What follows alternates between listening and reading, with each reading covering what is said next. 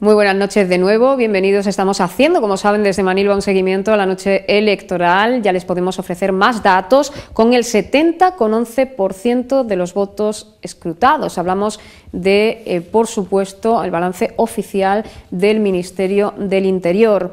A las 22 y 21 minutos se aportaban estos datos oficiales que dan como ganadores a dos partidos políticos empatados a votos, con 771 votos, el 24,56% y cinco concejales eh, cada uno para PSOE y Compromiso Manilva. Le sigue con 609 votos Izquierda Unida, con un 19,40% y tres concejales, el Partido Popular con 469 votos, un 14,94% y tres concejales, la SM 297 votos, un 9,46% y un concejal, y el que perdería el concejal con respecto a los datos que le aportábamos en el anterior avance informativo sería Manilva Solución Independiente, que con 154 votos se queda sin concejal con un 4,91%.